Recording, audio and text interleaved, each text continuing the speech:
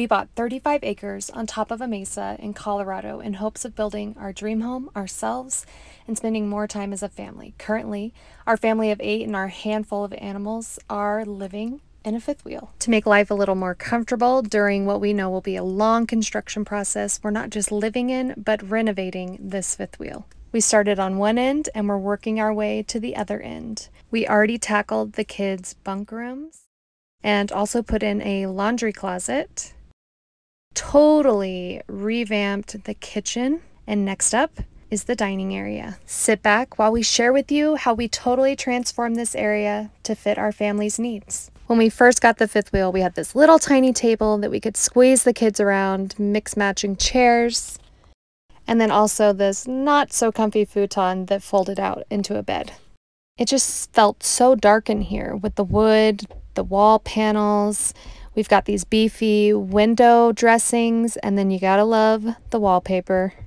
So essentially, we've pulled everything out, started painting the walls white and the trim white, and we're ready to really just make this space work for us. We want to brighten the area, gain more storage, a bigger table, more seating for everyone. Is it impossible? We'll see. One of the first things we're going to do is build this platform so that we can insulate our slide and run some electrical.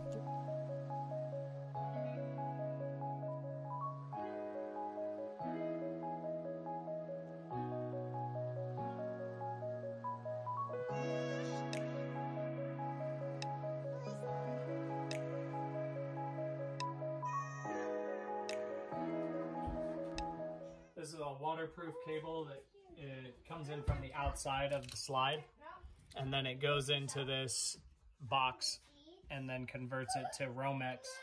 So then Romex comes over, connects to this outlet, and then it goes up over top of the slide and over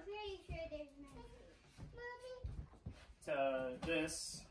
I just disconnected it, but this was connected to this outlet, and then this runs up to the switch, and then from the top of the switch it goes up to this light. We're going to get rid of the power supply that's coming in from overhead. We're just going to tuck this back in here because it's not going to be connected to anything. It's just a dead line. This will be moved to the outside of our seating area so that we can use it.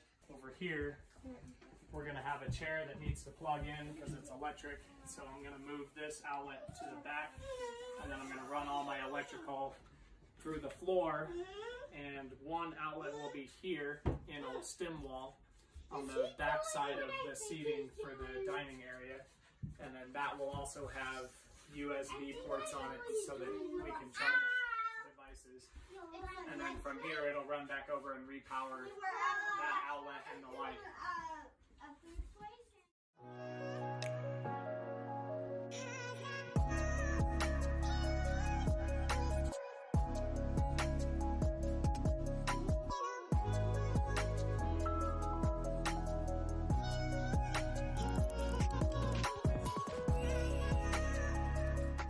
Outlets have a self-contained box that don't require an additional box inside of the wall, so all we need to do is connect.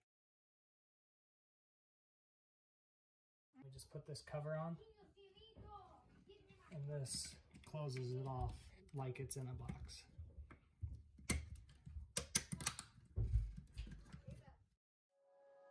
We were so hopeful that we could squeeze this in, but we had to unscrew a couple of the boards.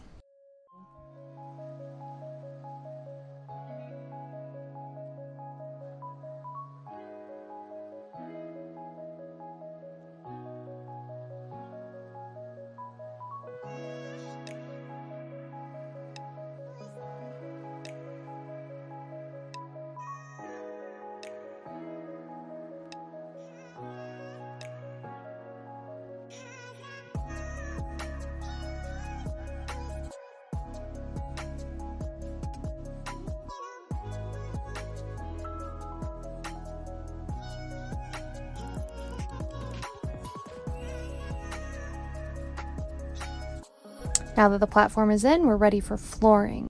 We'll be doing booth style seating, so we will just put flooring up to where the benches will hit, and then the benches will just overlap the flooring about two inches.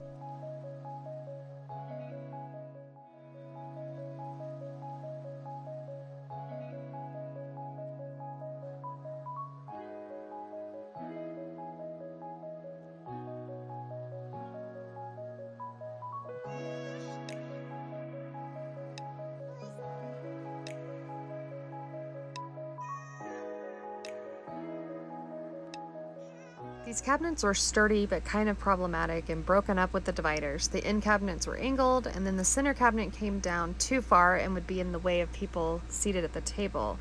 The divider pieces had cutouts underneath for the window treatments and would just be hard to finish nicely. So we decided to remove them and rebuild. With the cabinets pulled out, now we can get the same faux shiplap on the slide ceiling that we've done throughout the rest of the RV.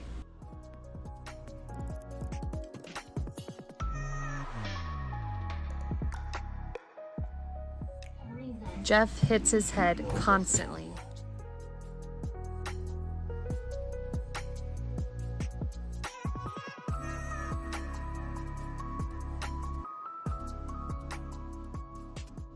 During the reconstruction of the cabinets, we had some crazy winds throwing materials and all kinds of dust. But we had lots of work to do, so we broke out the goggles and kept at it and recycled whatever materials we could.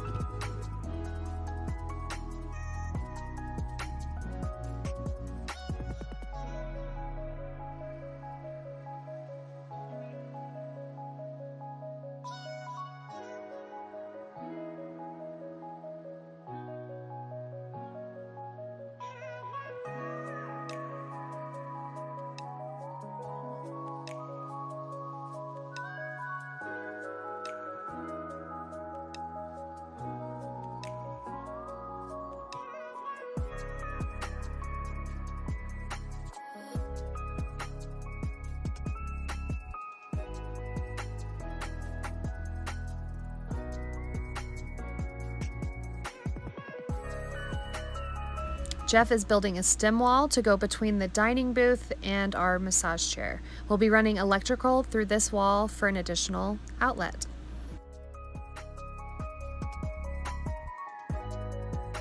We wanted to be able to utilize the space under our booth seating for storage, so Jeff is making drawers.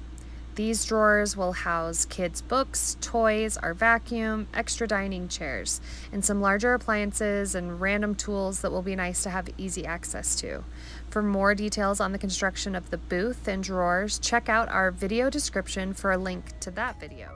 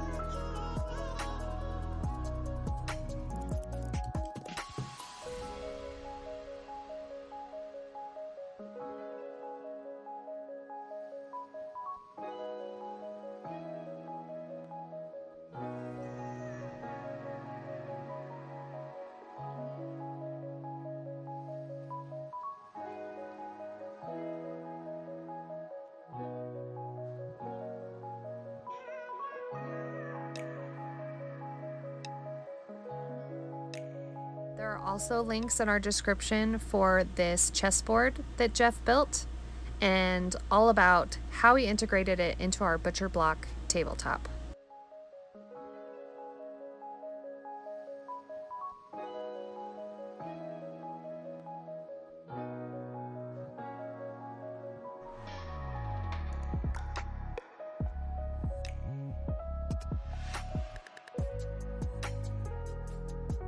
For our cushions, we went to our local home improvement store and picked up some 24 inch by 72 inch by 3 inch foam pad. We doubled it up and cut it to size. We had days and days of crazy wind during this project, so keeping the foam from blowing away was quite the feat.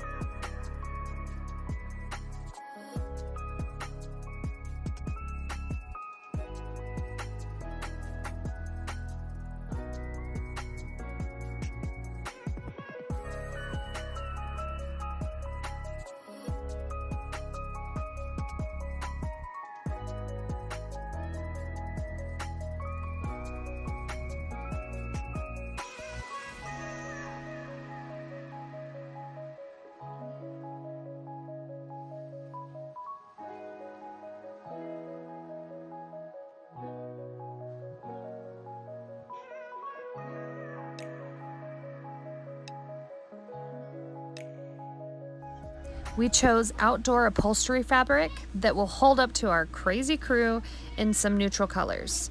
Each cushion cover has a zipper so we can easily remove and pop them in the washing machine as needed.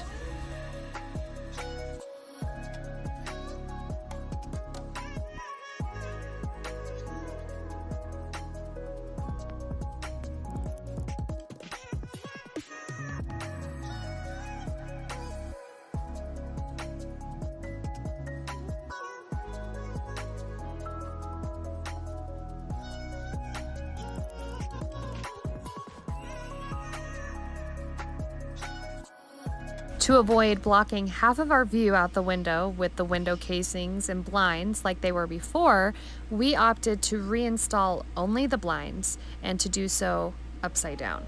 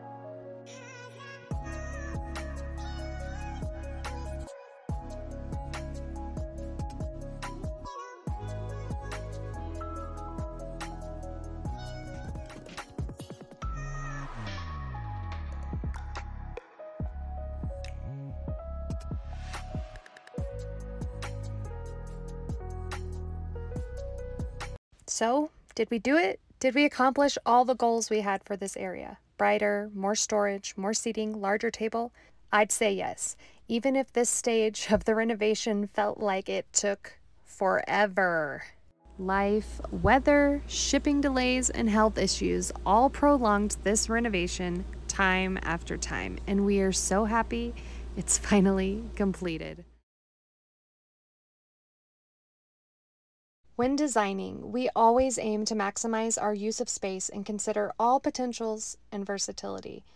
We've customized small spaces before, but the scales and limitations that RVs tend to present have put our creativity and passions to the test. Much like how we were able to reclaim some of our counter space in our kitchen remodel, we have found a way to create this space that is somehow large enough for a family of eight to freely dine together and lounge if we want to, and do our homeschooling, all while also having easy access to a plethora of storage for those awkward shaped and larger items that don't always have a place to go, or they're an eyesore, or you constantly are moving them around to do whatever you need to do. And you know, there's never enough outlets or places to plug in all the devices. Our favorite function of this space is probably the table booth combo and how it converts into a couch or an additional sleeping area. Some may say we've really lost the luxury of space like we had in our three tier theater room that we built in the old house, but honestly, we always ended up cuddled up anyway. And if there's anything that we've learned from small space living, it's that you grow closer by physically having to be closer. What's going on? And of course, it took our kids little to no time to realize another great use of this new space. Hit subscribe so we can continue sharing our crazy journey of family, DIY, small space dwelling, and eventually building our forever home. Even with all of its challenges, it's still so worth it.